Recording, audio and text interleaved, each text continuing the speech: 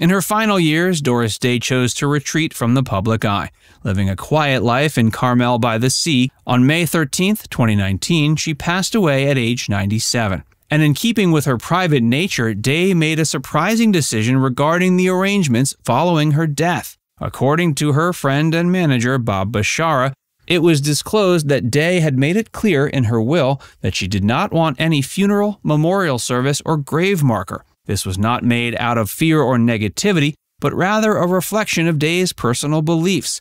She did not like death and she didn't like to talk about it. In her view, death was a part of life, and she didn't see the need for elaborate ceremonies or markers. Her decision was also influenced by her experiences in her final years.